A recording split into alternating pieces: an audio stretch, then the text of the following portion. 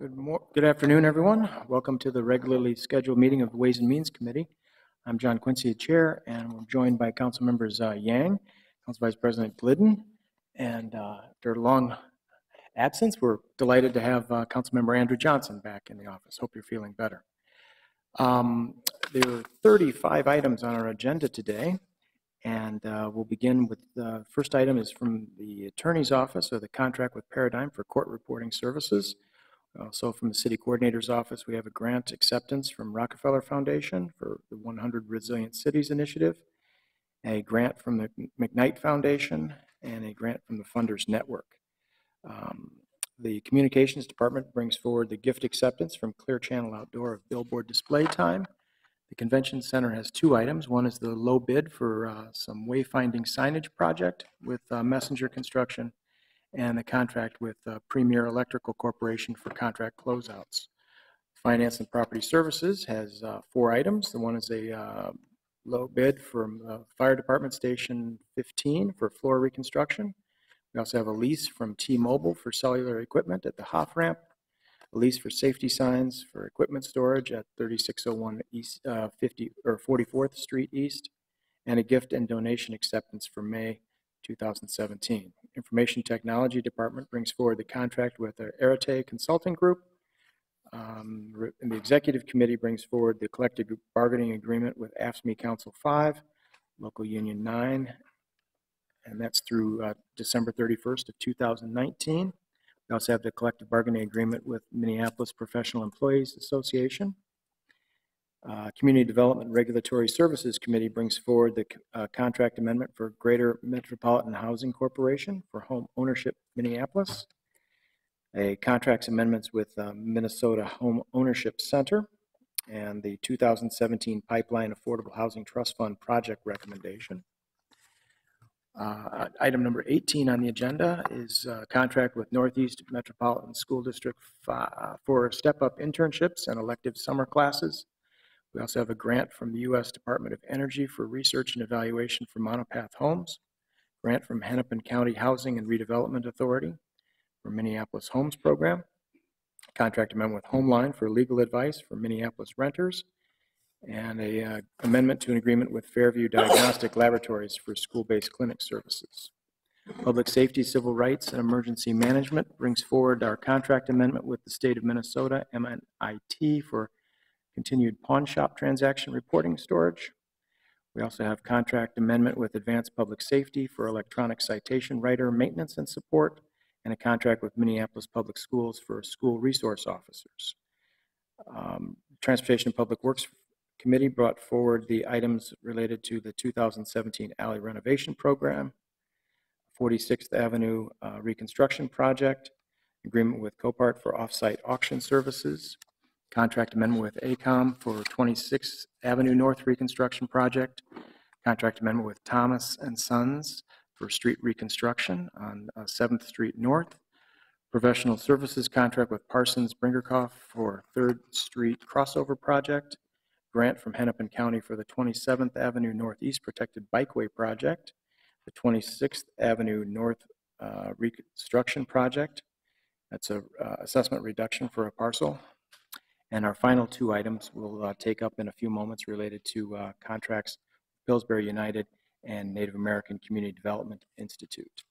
Uh, So for the 33 items outlined on the consent agenda, are there any questions from committee members or like additional comments on?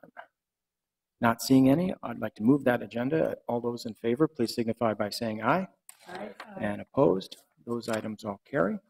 Which brings us to our two discussion items. They're uh, connected in, in what they're trying to accomplish here. This is relating to the uh, collaborative uh, public safety strategies funding for a, uh, that was in the 2017 budget back in uh, uh, December as we passed that, and it's accelerated process to bring it to fruition here by June 16th. So um, I- with that, I'd like to, this of course was on the Public Safety, Civil Rights, and Emergency Management Committee agenda, and it was sent forward without recommendation. Uh, So the Ways and Means is going to try to focus our um, uh, conversations on some of the questions that were raised during that committee meeting, not on the, the process or approach, but certainly on the uh, contract that's associated with that. So that's why we're, Ms. Fernandez, if you could join us and talk about the contracts for these two items. Perhaps you could do them at the same time. Uh, I know there were some questions raised about um, the uh, acting as fiscal agents and the scope of services. So if that could be addressed in there, and we can also open for questions. I know we have Ms. Archibald- from uh, the mayor's office, as well as representatives, at least from uh, NACD here, and uh, former council member uh, uh, I almost called you Glidden. Li- Lilligren, thank you, Council Vice. So Pam, if you could go ahead and uh, outline uh, for uh, discussion purposes on the contracts for Pillsbury United and NACD. Okay, so, um, good afternoon, everybody. Um, I'm Pam Fernandez, Director of Procurement, and, um, we have been helping out, um, in putting this contract together. First of all, it was about the, um, scope of services, like what do we want to do under this contract for this money? And, uh, Mayor's office did a great job reaching out to the, um, community to get some suggestions on what they would like to do, each neighborhood. And um, with, with that scope of services, as few of the selected services are going to be done with this money. Um, And we've selected two, um, two um, service providers, and one for the West Broadway Coalition, um, that neighborhood, and then the other one for the Little Earth. So um, with that one, do you have any specific questions about the contracting itself? Well, um, I I do, and I think we can get to it, but we'll let uh, Council Vice President uh, ask her first question, and we'll see if we can scope this for you. Thanks. Okay, so I just, I might be missing something, and maybe we have the wrong presenter here. I, I have no idea. I don't, not- it sounds like you are here for kind of the mechanics of the Yes. contracting. Yes. And I'm, I'm not sure if that's the issue. I didn't listen to the committee. I actually, sitting down here, this is the first I've understood that the other committee forwarded without recommendation. And so I want to know who is the best person to describe to us what were the questions Mhm. from the other committee, just so I can understand what's, Sure. what's the issue. I think we can probably do that. Obviously, Ms. Fernandez, you were framing it from a finance perspective on the Yes. contracts with the two providers that would serve as fiscal agents. But if, Ms. Archibald, if you could join us, that would be great. Uh, This was the agenda item out of the, um, uh, out of the budget that created these uh, two uh, $250,000 grant programs to each of these uh, targeted areas. Could you explain why and perhaps the process that got us to this point, and then the cohort that the, they would be serving? Right, but I want to make sure, my question is, and that's great to give a little overview. My question is, what were the remaining questions out of the uh, Public Safety Committee? Because both of these were forwarded without recommendation, and they're two different entities, and that's why it seems a little confusing to me. So, Go ahead if you'd like to try it, uh, to answer that question if you can. I think it- perhaps Councilmember Yang, as the chair of that committee, could address that as well. But Well, I can give my understanding of why it was forwarded without a recommendation. Um, Mr. Chair, Council Vice President Glidden, um, there were questions from the community about the process, and my understanding is that um, uh, Ch- Committee Chair Yang um, had some ambivalence about those who ended up as the awardees of the process. And that was why it was forwarded without a recommendation. Councilmember Yang, I was wondering if you might be able to kind of further explain for Council Vice President and the audience, um, the reasons for, the re- without the recommendation and what we could address here in this committee that might help address those bigger issues. Thank you, Mr. Chair. Um, You know, with regards to addressing the issues here in Ways and Means, you know, uh, you and I had the discussion about, you know, talking about just kind of the uh, financial uh, aspects of it uh, with regards to the committee itself. Uh, You know, it was my sense from that meeting that um, Councilmember Cano and myself, you know, had some reservations with regards to um, just the process in itself, you know, who uh, received uh, these um, contracts, if you will, and so that was kind of just, you know, the short of it was just kind of, you know, trying to figure out uh, whether we could come to a consensus, you know, afterwards, you know, in the time period between the committee and um, the full council meeting on Friday as to, you know, how we proceed. But that was it, though. I mean, there were some questions related to that, and so that's why, you know, I made the uh, motion to just move it with that recommendation from public safety. So if I might, um, and I apologize, this is, um, not to put Councilmember Yang on the spot, but I do have some questions based on those comments. So the issue isn't necessarily who is the fiscal agent, I guess, is this supposed to be a Mhm. fiscal agent or the holder of the contract or whatever? Because there are several different organizations that would then receive funding, as I understand it, even though there might be an overall contractor or fiscal agent or whatever is that responsibility. Um, So the issue isn't so much with those organizations, but with the ultimate recommendations that came out of the, the process? Am I under, I just want to make sure I'm understanding what were the questions raised in the committee, and, and I have not, again, I didn't get any outreach from staff or from any council members on this, I'm just trying to understand where we're at today, and if there is a specific proposal being worked on for how to move forward, you know? Um, Council Vice President uh, Glidden, uh, Mr. Chair, um, you know, I, I don't know what is happening behind the scenes. Uh, We're not working it, you know, from my office, I can say that. And, um, you know, to the extent in which, you know, there are issues related to, you know, uh, the proposals themselves, you know, I- I don't think, I don't think anybody was, you know, in, in the situation where they were attacking any of the proposals. I mean, the proposals were the pro- proposals. I, I think, you know, we're fine with that. I think the issue was just maybe the process in itself and, you know, what, what questions arose out of that. But I mean, certainly, you know, that was why we moved with that recommendation. Um, Again, you know, pointed out uh, the council members that were involved in um, the committee itself, you know, there were a couple who, you know, had questions or had issues related to that, and that's where it came from. But no, nothing related to the merits of each of the proposals.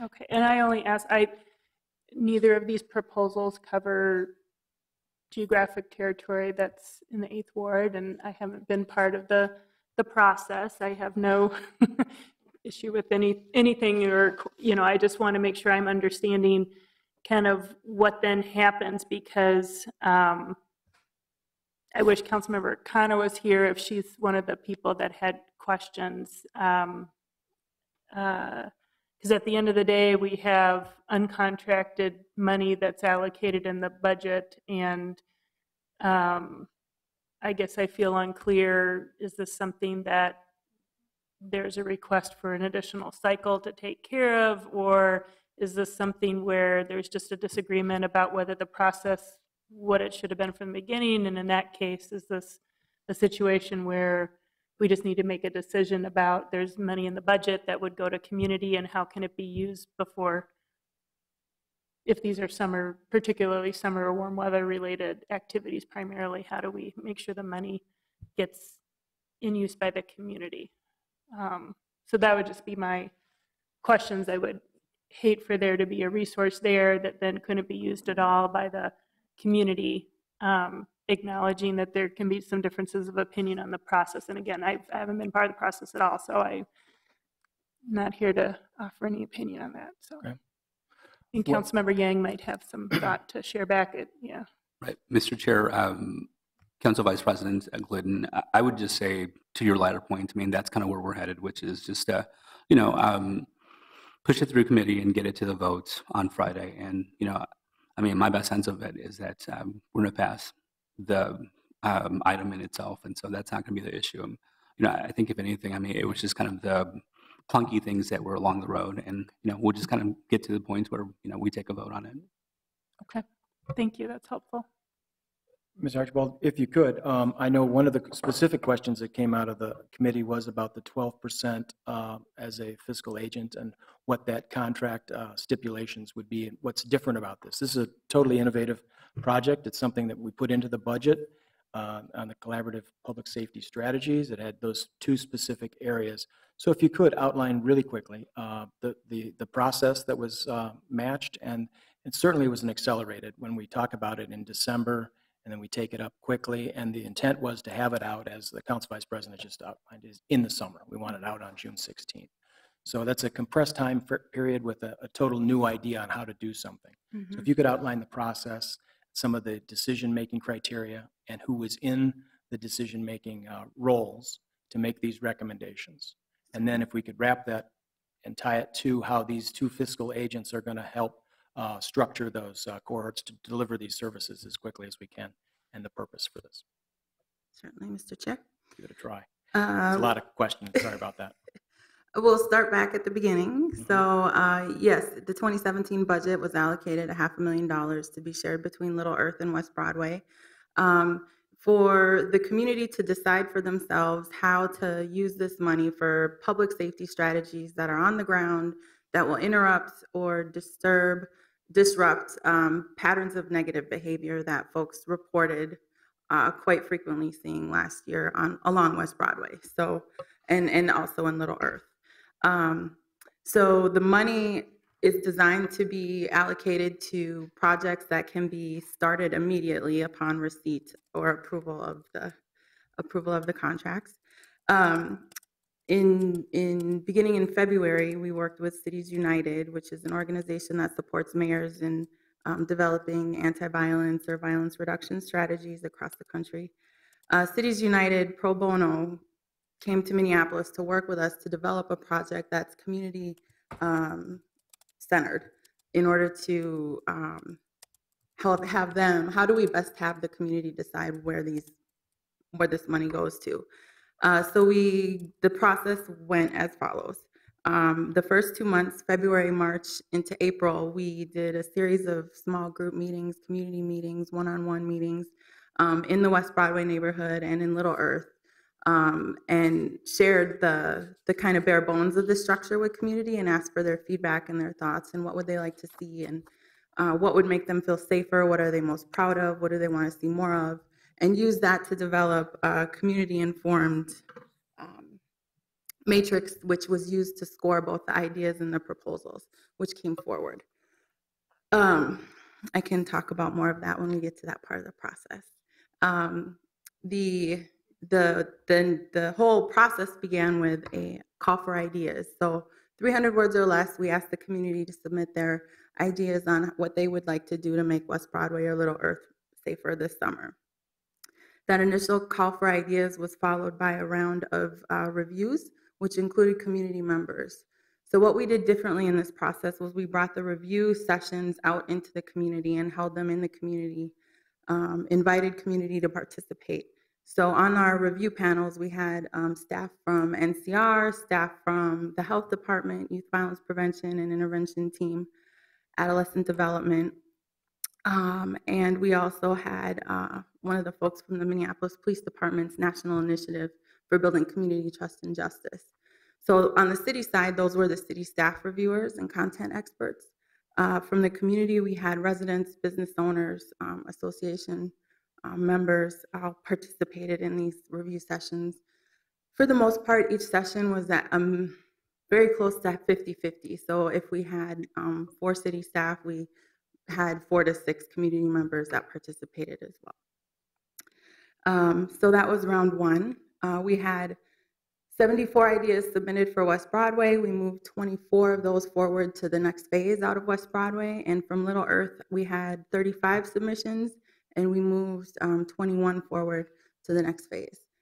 That next phase included uh, proposal development workshops where we invited um, the community members that submitted the ideas along with their collaborative team members to um, come to these meetings and find out more information about how to turn their idea into a proposal.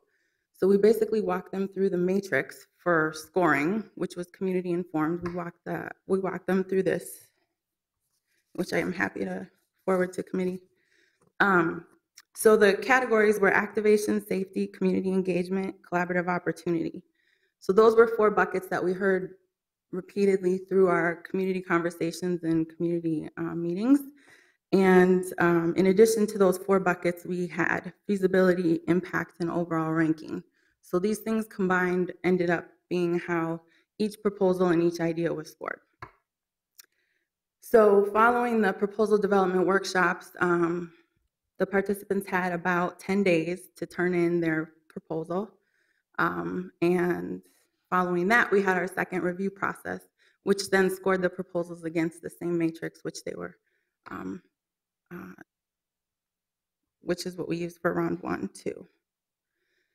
Um, following that, we ended up with our list of um, top-ranked proposals. We reviewed that with city staff again to ensure the feasibility of each of those proposals that were selected. Um, The requested amount for each of the proposals um, compared to the amount that was funded varied among each of the participants, or each of the awardees. And, and the reduction in the budget was also done through the informed lens of the city staff and determining feasibility ranges and things along those lines. Thanks very much for that general outline. And I'm, I'm sure there's also a metric in there, whether they're successful or not, as we're trying to evaluate uh, those, those programs um, and what they've contributed over the summer. Is, how is that going to be evaluated? Is that part of each of those metrics as well?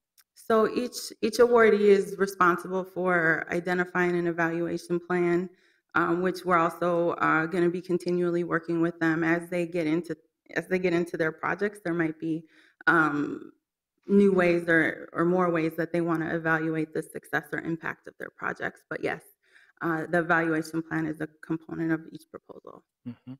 And the uh, proposals that were not accepted in this final round of recommendations, um, was there feedback provided back to those organizations and what would strengthen them or why they were not chosen over another? That's always hard part when you've got people coming to the process for the first time and suddenly thinks, you know, I should have gotten this and I shouldn't, uh, why not? Did we communicate back to people on how to shape their proposals or ideas for further consideration in- in the future? Mr. Chair, uh, yes, we, if, for those that we have had the capacity to respond to, to the state, yes. Um, There are some more that have inquired about feedback, which we will be getting to them. Okay. Now, as we get to the um, uh, fiscal agent uh, issues, when we have one on the south, one on the, um, uh, on the north side, um, can you tell us how those organizations were selected to be fiscal agents and what their scope of services is for this contract and the 12% uh, overhead administrative fee and what we're expecting out of that?